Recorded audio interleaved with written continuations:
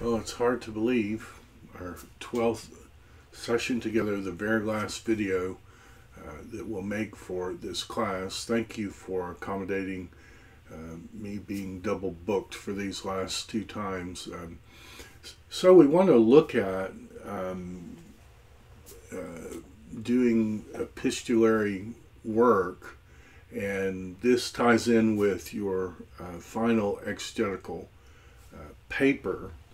Let me get to where I can um, pull this up. So, um, for your paper, it is a uh, 13 to 15 page uh, paper, or 12 to 15 pages. And what it is is an exegetical paper. And so this is the culmination of the uh, Bible interpretation process, writing an exegetical paper. Uh, for those seeking ordination in the PCA, this uh, paper is uh, part of the ordination exam usually, and so this is a practice way to do it. And uh, Dr. James uh, wisely picks some common passages. So this is the kind of um, paper presbyteries would look to in terms of their examinations. And this is um, uh, how you do it. Uh, so um, the purpose of the exercise and even the whole class is ultimately to lead up to helping you write a better exegetical paper. So the first thing to do is to pick one of these passages. So I would encourage you to read through uh, all eight passages and see which one interests you the most. Uh, what I would do after that is I would just take a a couple of hours and I would read through the whole book um, and ask yourself the question uh, what is the whole book trying to argue and how does that relate to this particular passage in the book? So, uh, what I've to- told you so many times the best commentary on the Bible is the Bible, and the best thing you can do in uh, reading and understanding is just read the whole thing. Um, you know, uh, take time, read the whole thing, and start asking yourself, how does uh, this passage relate to the whole? That will be the the absolute key as you begin to do this. And then, if you go to the uh, workbook, and if I can just get this where I can see that. Um, we have this nice outline for writing an exegetical paper. Um, so Dr. James is saying, you know, state why you choose. This is all part of the 12 uh, uh, to 15 pages. Uh, state the main theme of your uh, passage in one well formed sentence. This is a thesis sentence. So after you've worked through the whole thing, say, this is what this passage is about. This is why this passage uh, is in the Bible. And then uh, using the um, tool that you were given, the road concept, um, determine what kind of passage it is. Is it historical, political, symbolical? Uh, determine and discuss the historic cultural background, the context. Um, based on each component of the road. And if you want to do that, um, we have that in uh, page five of your workbook. Just go through and ask, well, um, you know, what type of scripture is it? Uh, is it an epistle? Is it a gospel? Um, what is the historic historical setting? Um, um, do, does the passage involve any kind of place or um, anything like that? Look at the events surrounding the writing um, in the epistolary passages. Um, just transition to this. In all of these passages, um, the epistolary passages, you're going to have uh, historic background, so you might want to go to Acts and read about uh, how Paul uh, and what Paul did in Ephesus. The same with uh, Philippi or uh, his relationship to the church at Rome or Second Timothy. You want to do all that background uh, work um, as you're going through. Um,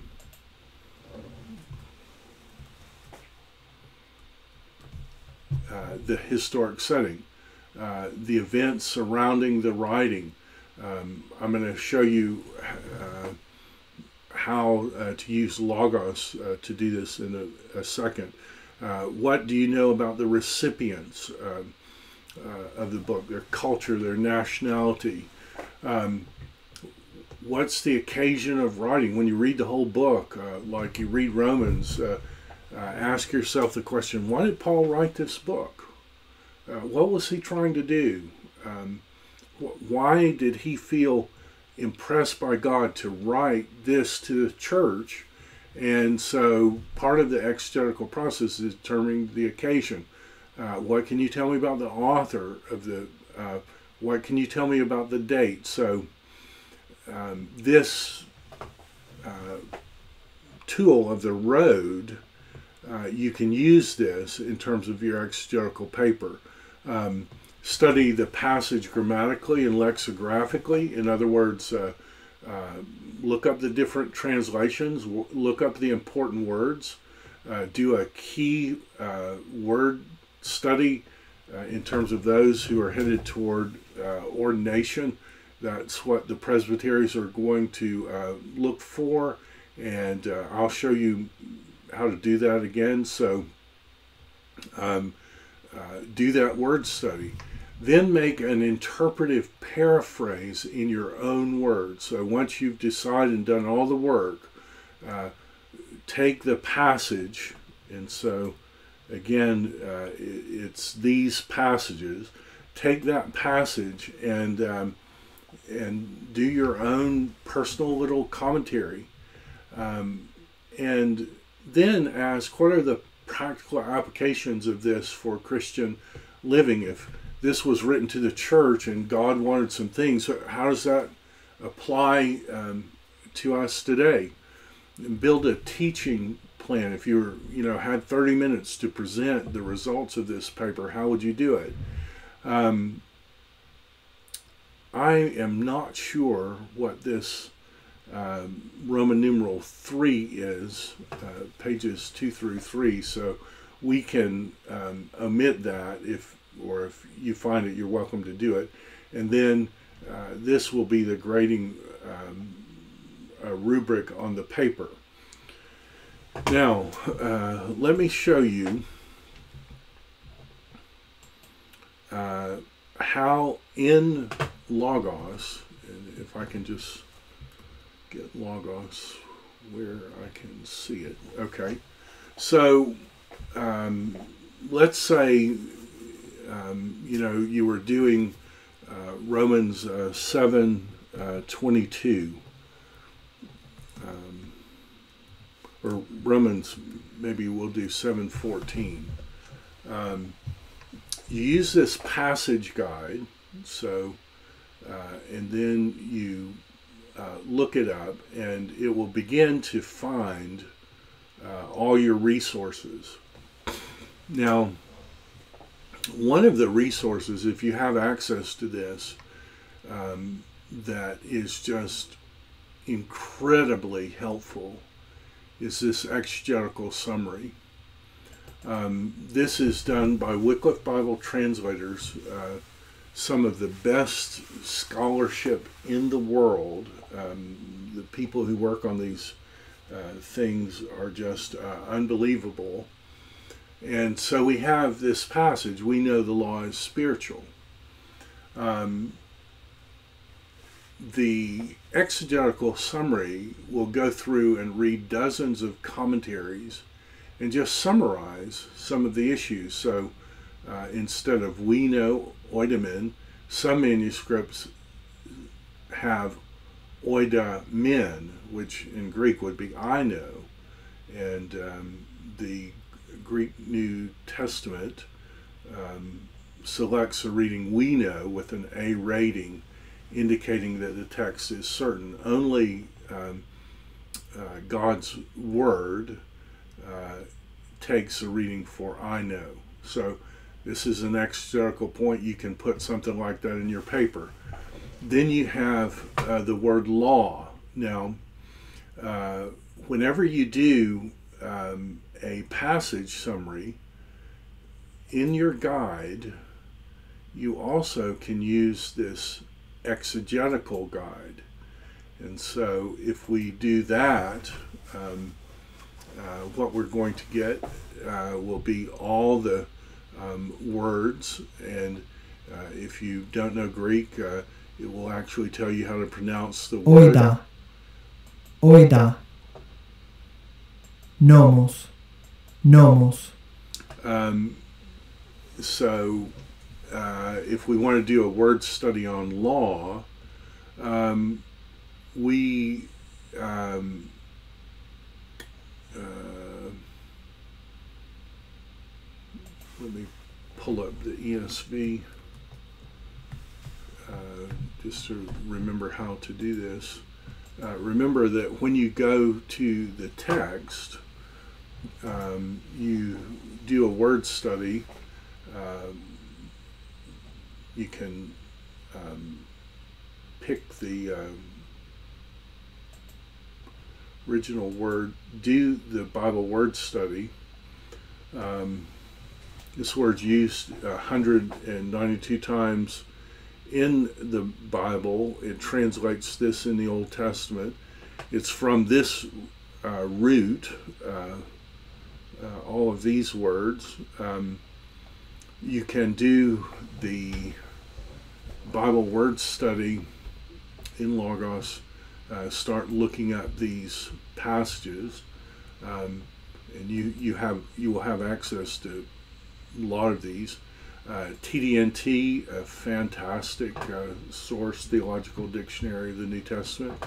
Um, the TDNT abridged version probably is helpful because you can read the shorter um, uh, article.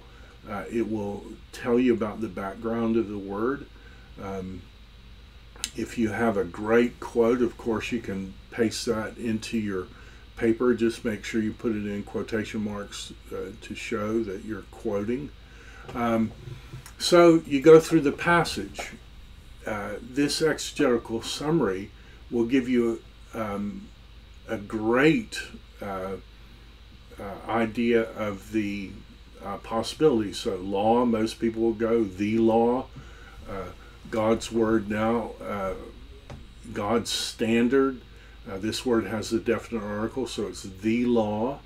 Um, and in the exegetical summary, uh, what relationship is indicated by for? For uh, we know, and gives a summary. Uh, what is meant by calling the law spiritual? And, and we have here a summary of just all these great commentaries. Uh, Fitzmyer, uh, Schreiner, great one from Barrett, um, Sanday Headlam, um, C.E.B. Cranfield, my favorite uh, Romans uh, one, uh, Morris, right up there, fantastic. Uh, John Murray from Westminster, uh, the Baptist one uh, by Robert Mounce. Um, so all this, and notice in this exegetical summary, if you have access and if um, you know you're there in Birmingham, uh, if you don't have access to Logos, you can go to a library. Uh, more than likely, they'll have this in a paper copy. I know Samford uh, will have it. And so you have uh, access to great um, uh, research, and it can give you hundreds of hours of research boiled down to you can get it in an hour. And so uh, all of these, you know, when it says I am fleshly, um, uh, who is the I? Paul is speaking of his own experience, okay? A lot of people take that Paul is speaking for his own experience prior to becoming a Christian. Uh, I don't think that's the right view, but these are the people who argue it. Paul is speaking of his own experience as a Christian. Uh, I follow that view. Um, uh, Paul uses the first person to describe the experience of Adam. So, just in that short time, and so like uh, James Dunn uh, takes that view. Um, in a few minutes, you you can um, have a summary in from this exegetical summary of Romans, and if you have access, use that. Um, I, I use it all the time. Then what I do, whenever I look at a passage, I also try to find ancient, medieval, and modern um, commentators. The ancient is this ancient Christian commentary on Scripture. Um, so if you have access to that, or if there's a good library near you, we'll have a paper copy. This will give you in a short time what Origen thought, what uh, Augustine, what Ambrosiaster thought, um, and you have access uh, to it for any passage in the Old Testament or New. Uh, that gives you the ancient commentaries. When you start talking about medieval or pre-critical ones, well, L- Luther is always important if you have access to that. Um, you can find what Luther said about the passage. Uh, lots of uh, good libraries will have the paper copy of this. If you have it in Logos, uh, course, it's much easier to use. Um, John Gill, he is always worth uh, reading. Uh, John Gill is the person that Spurgeon was afraid that uh, he couldn't follow in his footsteps and John Gill had been dead uh, a long time before Spurgeon went to Gill's uh, church. So, um, one of the best scholars of all time. Uh, if you have access, uh, um, this uh, Spence is always worth a, read. Um, so that gives you Calvin is nearly always worth a read. Um, the ICC, uh, Cranfield, uh, if you had to only pick one commentary, uh, Cranfield's probably the best one. He's a very judicious interpreter and he's very, very, very good. Uh, the Hermeneia series is probably a little more left than most people would be comfortable with, but a lot of times they'll give you background. Um, uh, you can use uh, this uh, Reformation commentary on Scripture. Leon Morris, a fantastic interpreter of Romans. Uh, well, anything Leon Morris writes is nearly always good. Um, Doug Moo has written a very recent one. Um, uh, he he was my teacher at Trinity, and he's fantastic. I don't always agree with his positions in Romans, but he's well worth the read. F. F. Bruce, one of the best scholars who ever lived, uh, he's uh, worth a read. Um, from the reform perspective, William Hendriksen. um, he's going to give you the standard reform take on most any passage. Um, Lenski is a Lutheran, so uh, he very good Lutheran. He's going to give you the standard Lutheran. Uh, so in all of this, um, you can use the uh, passage guide to get to the um, you know what the secondary literature has said but i want to do give you a caution um, it's very tempting when you start getting into secondary literature to stop reading the text um, to just read what other people say and um, I am so pro uh, commentaries. Uh, commentaries have been very helpful to me, but you really do have to be working always to stand on your own two feet. If the Bible meant, uh, if God meant the Bible for normal people, um, and you're a normal person, that means you should be able to get most of uh, what's out there just by reading if God is an effective interpreter. And so um, read it on your own. Read the whole book. Re- ask how the section fits uh, together Um, and then um, then make your argument, and then compare what you say with what other people say. If you want to uh, look at background material, well, I mean, here's something you should always do: look at the parallel passages. So if they're um, we know the law is spiritual. Well, this is a great uh, cross reference. Behold, I was brought forth in iniquity, and in sin did my mother conceive me. Um, um, we know the law is spiritual, but I am fleshly. Uh, uh, John 9, he answered, uh, uh, You were utter, born in utter sin. This is the uh, Jewish leaders against Jesus. Um, Romans 7:14, we know that the law is spiritual, but I'm the flesh. So uh, those parallel passages. Um, uh, you can do the same thing with the cross references. These are all the cross references. The, the more you do cross reference work, uh, if the best commentary on the Bible is the Bible, this is always going to be a helpful uh, thing. Um, if you come down uh, important words, uh, you know, you're probably going to want to look those words up in your passage. Um, you can do a little bit about Paul and read about his life. You can read a little bit about the church in Rome and Romans uh, by reading dictionary articles and reading through. Um, there are a lot of outlines uh, that you can compare what other people have said. Um, so, uh, in this ancient literature, it tells you where people have quoted. Um, you know, Augustine's always worth a look. Uh, Theodoret is good. Athanasius is good. Um, Basil is good. Uh, all of these are helpful, and you have access uh, you know, if you have time.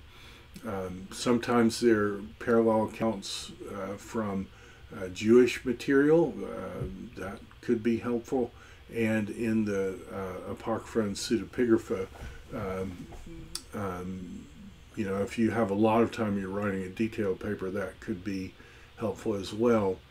Um, so, uh, in terms of practical application, this sermon starter guide may be helpful, um, and so you may explore that. Uh, so, well on your way, uh, you have 12 to 15 pages to demonstrate your uh, skill in that, and so that's what. Um,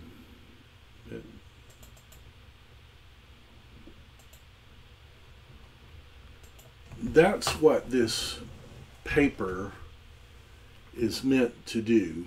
Um, it's meant for you to take one of these passages and demonstrate um, taking the initial steps of doing an exegetical um, paper. Um, this is a great exercise. It's a way to learn how to examine a passage and then present the passage. Uh, and so this will be uh, very helpful to you to do um, to do this exercise.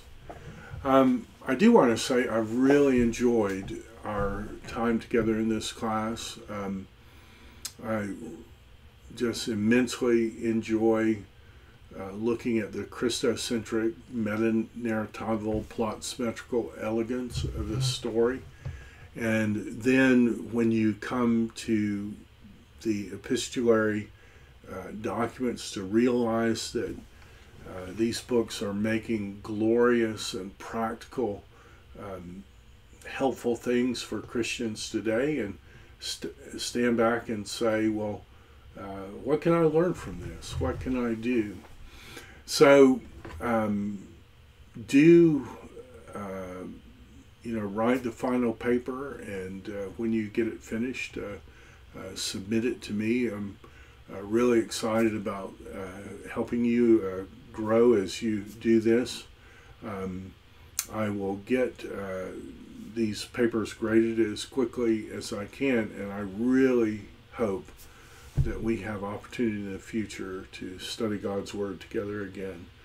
My prayer is that God will continue to bless you and uh, all the ble- all the best as we continue to uh, try to be in God's power uh, workmen who need not be ashamed, who rightly divide the word of truth.